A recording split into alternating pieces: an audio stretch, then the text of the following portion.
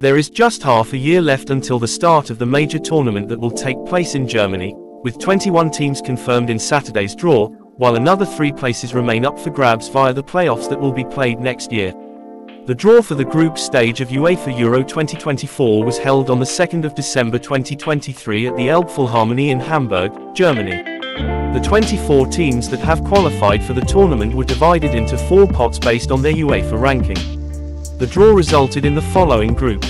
Group A, Germany, Scotland, Hungary, Switzerland.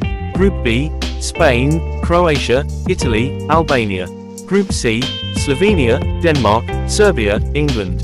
Group D, playoff winner A, Netherlands, Austria, France. Group E, Belgium, Romania, Slovakia, playoff winner B. Group F, Türkiye, playoff winner C, Portugal, Czechia.